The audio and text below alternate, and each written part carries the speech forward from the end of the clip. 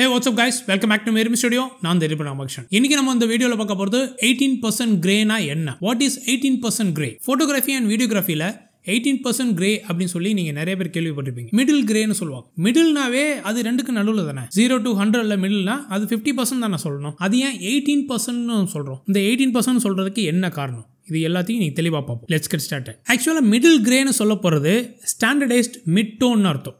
Middle இருக்கிறது விஷயம். Pure பிளாக்குக்கும் pure ஒயிட்டுக்கும் அதாவது பிளாக்குக்கும் ஒயிட்டுக்கும் நடுவில் இருக்கிற அந்த மிடில் கிரேவை தான் இந்த எயிட்டீன் பர்சன்ட் கிரேன்னு சொல்கிறோம் முன்னாடி என்ன சொன்ன மாதிரி மிடிலாக இருக்கிற விஷயத்துக்கு ஆக்சுவலாக ஃபிஃப்டி பர்சன்ட் தான் சொல்லியிருக்கணும். இது ஏன் எயிட்டீன் பர்சன்ட்னு சொல்கிறோம் அப்படின்னா இந்த எயிட்டீன் பர்சன்ட்னு சொல்கிறதுக்கு முன்னாடி இந்த மிடில் கிரே என்னான்னு நம்ம தெரிஞ்சுக்கோம். இது வரைக்கும் தெரியாதவங்க இந்த வீடியோ பார்த்து தெரிஞ்சுங்க. கேமரானா ஒன்று வந்ததுலேருந்து கேமரா வச்சு புகைப்படங்கள் எடுத்ததுலேருந்து கண்டுபிடிச்சதுல அந்த காலத்துலேருந்து இந்த மிடில் கிரேவை சம்மந்தப்பட்டு தான் இந்த எக்ஸ்போஷரை கரெக்ட் பண்ணாங்க. அதாவது பியூர் பிளாக்காக இருந்துச்சுன்னா அந்த இடத்துல டீட்டெயில் தெரியாது. பியூர் ஒயிட்டாக இருந்துச்சுன்னா அதுக்கு மேலே போனுச்சுன்னா அந்த இடத்துல டீட்டெயில் தெரியாது. உங்களுக்கு அந்த காலத்தில் எல்லாமே பிளாக் அண்ட் ஒயிட்டில் தான் பணம் எடுத்துட்டு இருந்தாங்க. ஸோ பிளாக் அண்ட் ஒயிட்டில் என்ன இருக்கும்? ஷேட்ஸ் ஆஃப் கிரே கிரேவை சம்மந்தப்பட்ட ஷேட்ஸ் தான் இருக்கும். அது கிரே வந்து டார்க் ஆக ஆக பிளாக்காக போகும். ஒயிட் ஆக ஆக அதாவது பிரைட் ஆக ஆக ஒயிட்டை நோக்கி போகும். ஸோ அந்த கிரேவை சம்மந்தப்பட்ட விஷயங்கள் தான் எல்லாமே அந்த ஃபோட்டோகிராஃபியில் இருந்துச்சு. ஆன்சல் ஆடம்ஸுங்கிற ஒரு கிரேட்டஸ்ட் லேண்ட்ஸ்கேப் ஃபோட்டோகிராஃபர் ஒருத்தர் இருந்தார். அவர் தான் அந்த ஜோன் சிஸ்டம் அப்படிங்கிற விஷயத்த காயின் பண்ணார். ஜோன் பேஸ்ட் எக்ஸ்போஷர் அப்படிங்கிறத கொண்டு வந்தார். மொத்தமாக பத்து ஜோனாக பிரித்தார் ஜீரோலேருந்து ஆரம்பிச்சு இன்க்ளூடிங் ஜீரோ ஜீரோலேருந்து ஆரம்பித்து ஜோன் டென்னு வரைக்கும் பிரிச்சிருந்தார். ஸோ ஜோன் ஃபைவ் அப்படிங்கிறது சென்டரில் வரும். ஸோ இங்கிட்ட அஞ்சு ஜோன் இங்கிட்ட அஞ்சு ஜோன் ஸோ பியூர் பிளாக்லேருந்து ஆரம்பித்து பியூர் ஒயிட் வரைக்கும் போகும். உங்களுக்கு நடுவில் அந்த ஜோன் ஃபைவ்ங்கிறது தான் மிடில் மிடில் கிரே அப்படின்னு சொன்னாங்க. ஜோன் ஃபைவ் அந்த சென்டரை மையப்படுத்தி தான் அந்த எக்ஸ்போஷரை கால்குலேட் பண்ணுவாங்க. இந்த சைடும் ரொம்ப போயிடக்கூடாது இந்த சைடும் ரொம்ப போயிடக்கூடாதுங்கிறத மையப்படுத்தி சொல்லுவாங்க. இது ரொம்ப டீட்டெயிலாக போய் பார்க்க வேணாம். இது ரொம்ப பெரிய வேஸ்ட் சப்ஜெக்ட் ஸோ இவர் கண்டுபிடிச்ச இவர் கொண்டு வந்த அந்த ஜோன் ஃபைவ்ங்கிற விஷயம் தான் இந்த மிடில் கிரே இது எயிட்டீன் பர்சன்ட் கிரேன்னு சொல்கிறாங்க சரிங்க ரொம்ப நேரமாக இந்த எயிட்டீன் பர்சன்ட் கிரேனா என்னன்னு தெரிஞ்சிக்காமல் அதை பற்றியே சொல்லிட்டு இருக்கீங்க. பதினெட்டு பர்சன்ட் பதினெட்டு பர்சன்ட் சொல்கிறீங்க நேரடியாக சொல்லுவோமே.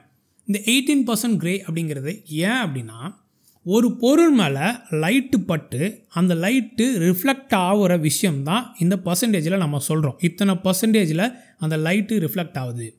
ஒரு பொருள் மேலே அந்த லைட்டு பட்டு ரிஃப்ளெக்ட் ஆகுதுன்னு சொன்னோம்ல அது எத்தனை பர்சன்டேஜில் ரிஃப்ளெக்ட் ஆகுதோ அவ்வளோ லூமினன்ஸ் லெவலில் இருக்குது அவ்வளோ இலுமினேஷனில் இருக்குது அவ்வளோ பிரைட்னஸ் லெவலில் இருக்குது அப்படின்னு சொல்கிறோம் பியூர் பிளாக்லேருந்து ஆல்மோஸ்ட் வரவே வராது லைட் ரிஃப்ளெக்ட் ஆகவே ஆகாது.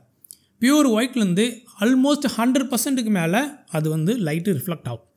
ஸோ இந்த மிடில் கிரேன்னு சொல்ல போகிற இந்த கிரேலேருந்து மிட்டோன் கிரேலேருந்து உங்களுக்கு லைட்டு பட்டு இந்த மாதிரி ஒரு லைட் இருக்குல்ல இன்சிடென்ட் லைட்டு பட்டு கேமரா நோக்கி அந்த லென்ஸை நோக்கி ரிஃப்ளெக்ட் ஆகும்போது அது மொத்தமாக பதினெட்டு பர்சன்ட் தான் ரிஃப்ளெக்ட் ஆகும். அப்படி பதினெட்டு பர்சன்ட் ரிஃப்ளெக்ட் ஆனால் தான் அது ஒரு கரெக்டான மிடில் கிரேன்னு சொல்கிறோம் ஸோ பதினெட்டு பர்சன்ட் லைட்டு ரிஃப்ளெக்ட் ஆகி அங்கே வந்துச்சு அப்படின்னா அது மிட் டோன் மிடில் கிரே அதனால தான் அது எயிட்டீன் பர்சன்ட் கிரேன்னு சொல்கிறோம் ஸோ இதோட இந்த வீடியோ முடிஞ்சு போச்சா? அப்படின்னு கேட்டால் ஆல்மோஸ்ட் முடிஞ்சு தான் போச்சு.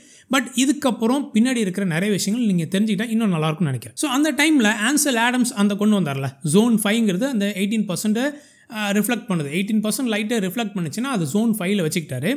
அது பர்சன்டேஜ் கம்மி ஆக ஆக பிளாக்கை நோக்கி போகும். பர்சன்டேஜ் இன்க்ரீஸ் ஆக ஆக ஒயிட்டை நோக்கி போகும் அப்படின்னு சொல்லி சொன்னோம். சிம்பிளாக ஸோ இந்த இடத்துல என்ன பண்ணுறாரு அப்படின்னா மூணு விதமான ஃபில்டர்ஸை யூஸ் பண்ணுறாரு இதுக்கு முன்னாடி நம்ம ஆன்சல் ஆடம்ஸ் வீடியோஸில் நம்ம தெளிவாக சொல்லியிருக்கோம். அந்த வீடியோ நீங்கள் பார்க்கணும் அப்படின்னா இங்கே இருக்க லிங்க்கை நீங்கள் இந்த வீடியோ பார்த்ததுக்கப்புறம் போய் லிங்க்கை கிளிக் பண்ணி பாருங்கள் ஸோ அதில் என்ன சொல்கிறாரு அப்படின்னா மூணு விதமான ஃபில்டர்ஸை யூஸ் பண்ணி அவர் பிளாக் அண்ட் ஒயிட் ஃபோட்டோஸை இன்னுமே மெருகேற்றி என்ஹான்ஸ்டு வெர்ஷனாக எடுக்கிறார். நீங்கள் பார்த்துருப்பீங்க இப்போ இருக்கிற இந்த டிஜிட்டல் உலகத்தில் மூணு பிக்சல்ஸ் மூணு கலர் உள்ள பிக்சல்ஸ் ஒயிட் கலரை ஃபார்ம் பண்ணுது. ஒன்று எல்லாருக்குமே தெரிஞ்சிருக்கும் RGB red green blue so இதில் வந்து பார்த்தீங்கன்னா ரெட்டு ஒரு பிக்சல் க்ரீன் ரெண்டு பிக்சல் ப்ளூ ஒரு பிக்சல் ஸோ இந்த மாதிரி இந்த நாலு பிக்சலுமே இந்த நாலு இதுவுமே சேர்ந்து ஒரு ஒயிட்டுங்கிற ஒரு இது உருவாக்குதுன்னு வச்சுங்களேன். இதில் இந்த ரெட் கலர் தான் வந்து ஒரு பெர்ஃபெக்டான ஒரு பிளாக்கை க்ரியேட் பண்ணுது அப்படிங்கிறத அவர் கண்டுபிடிச்சார். ரெட் கலர் ஃபில்டர்ஸை லென்ஸுக்கு முன்னாடி யூஸ் பண்ணி அவர் இந்த பிளாக் அண்ட் ஒயிட் ஃபோட்டோ எடுக்கிறதுக்கும் க்ரீன் ப்ளூவை யூஸ் பண்ணி எடுக்கிறதுக்கும் வித்தியாசம் இருக்குது அப்படிங்கிறத அவர் சூப்பராக அதை வந்து யூஸ் பண்ணார். நிறைய விஷயங்களை அதை வச்சு நிறையா ஃபோட்டோகிராஃப்ஸை ப்ரொடியூஸ் பண்ணார். அதில் இந்த ரெட் கலர் அப்படிங்கிறத பெர்ஃபெக்டான ஒரு எயிட்டீன் பர்சன்ட் க்ரே அதாவது ஒரு பெர்ஃபெக்டான ஒரு மிடில் க்ரேவை அது ஃபார்மேஷன் பண்ணுது. ரெட் கலர் ஃபில்டரை யூஸ் பண்ணும்போது நீங்கள் பிளாக் அண்ட் ஒயிட் ஃபோட்டோஸை எடுத்து இல்லை மற்ற கலர் ஃபோட்டோஸை எடுத்து நீங்கள் மூணு சேனலாக பிரித்து அதில் இருக்கிற ரெட்டு சேனலை மட்டும் நீங்கள் பார்த்தீங்கன்னா அது ஒரு அருமையான எக்ஸ்போஸ்டு ஒரு மிடில் கிரேவை கொடுக்கும். ஸோ இப்போ இருக்கிற இந்த புதுமையான காலத்தில் இப்போ இருக்கிற இந்த டிஜிட்டல் உலகத்தில் ஈவன் இந்த digital DSLR single lens reflective அந்த கேமராவை தாண்டி இப்போ மிரர்லெஸ்க்கு வந்துருச்சு. இப்போ இருக்க இந்த டிஜிட்டல் உலகத்தில் பார்த்தீங்கன்னா உங்களுக்கு இருக்கிற அந்த மீட்டர்டு கேமராக்குள்ளே இருக்கிற மீட்டர் எக்ஸ்போஷர் மீட்டர் இது எல்லாமே பார்த்தீங்கன்னா இந்த எயிட்டீன் பர்சன்ட் கிரேவை சம்மந்தப்பட்டு தான் உங்களுக்கு ஒர்க் ஆகுது. ஐஆர்இ வேல்யூன்னு சொல்லுவாங்க. ஸோ இந்த ஐஆர்இங்னா இன்டர்நேஷ்னல் ரேடியோ இன்ஜினியர்ஸ் சொசைட்டிங்கிற அமெரிக்காவில் இருந்த அந்த காலத்தில் இருந்தவங்க இதுக்கான ஒரு ஒரு வரமுறையை ஒரு ஸ்டாண்டர்டை வந்து க்ரியேட் பண்ணாங்க. ஸோ அதில் வந்து இப்போ இருக்கிற கேமராஸ் எல்லாமே ஆல்மோஸ்ட் எல்லா கேமராவுமே இந்த எயிட்டீன் பர்சன்ட் கிரேவை சம்மந்தப்பட்டு தான் இந்த எக்ஸ்போஷர் மீட்டர் ஒர்க் ஆகுது. உங்கள்கிட்ட உங்கள் கேமராவில் இருக்க அப்பச்சர் ப்ரையாரிட்டியாக இருக்கட்டும் ஷட்டர் ப்ரையாரிட்டியாக இருக்கட்டும் இல்லை மேனுவல் மூடில் நீங்கள் ஆட்டோ ஐஎஸ்ஓ வச்சு யூஸ் பண்ணுறீங்க அப்படின்னாலும் இருக்கட்டும்.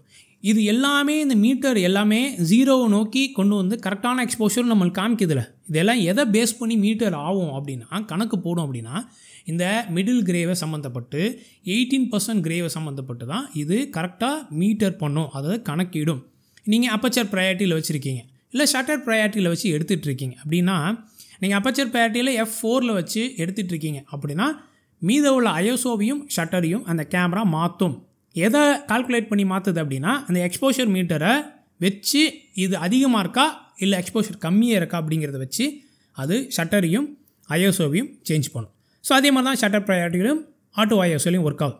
இது எல்லாமே இந்த மிடில் கிரேவை சம்மந்தப்பட்டு தான் எக்ஸ்போஸ் பண்ணுது கரெக்டாக கேமராக்குள்ளே இருக்கிற லைட் மீட்டர் இருக்குல்ல ஒரு ஒரு கேமராலையும் ஒரு ஒரு லைட் மீட்டர் இருக்கும். அதை வச்சு தான் எக்ஸ்போஷர் மீட்டர் காமிக்குதுன்னு இப்போ நம்ம பேசணும். அந்த லைட் மீட்டர் எல்லாமே ஷேட்ஸ் ஆஃப் கிரேவை வச்சு தான் ஒர்க் ஆகும் அதுக்கு கலர் தெரியாது. அது பிளாக் அண்ட் ஒயிட்டாக பார்க்கும். எவ்வளோ கிரே இருக்குது எயிட்டீன் பர்சன்ட்க்கு மேலே வந்து வருதா? அது வந்து ஓவர் எக்ஸ்போஸ் ஆகுது. எயிட்டீன் பர்சன்ட்டுக்கு கம்மியாக வருதா? அது அண்டர் எக்ஸ்போஸ் ஆகுது அப்படிங்கிறத வச்சு தான் அது ஓவராலாக கால்குலேட் பண்ணும். அதுக்கப்புறம் உங்கள் கேமராக்குள்ளே இருக்கிற செட்டிங்ஸ் மற்ற மீட்டரிங் சிஸ்டம் நீங்கள் எப்படி வச்சுருக்கீங்க? எவாலுவேட்டிவ் மீட்டரிங்கில் வச்சுருக்கீங்களா? அதாவது மேட்ரிக்ஸ் மீட்டரிங்கில் வச்சுருக்கீங்களா? இல்லை சென்டர் பாயிண்டில் ஸ்பாட்டு அந்த மாதிரி ஒரு குறிப்பிட்ட இடத்துல மட்டும் நீங்கள் வச்சுருக்கீங்களா?